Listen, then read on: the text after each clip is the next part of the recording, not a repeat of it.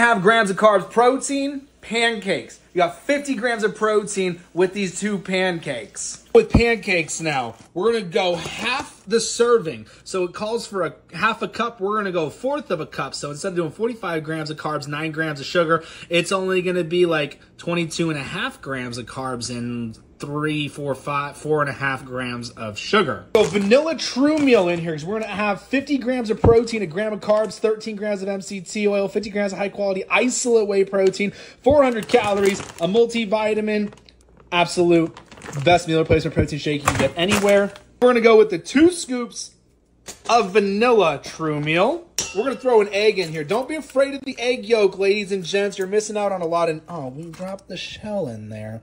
You're missing out on a lot of nutrients when you take out the egg yolk. Seriously, stop doing egg whites, you weirdos. You're missing out on a ton of vitamins, minerals, good fats, and proteins. We gotta blend it all up.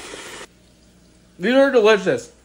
Easy way to get your pancake fix, breakfast on the go. 50 grams of protein. Only 22 grams of carbs.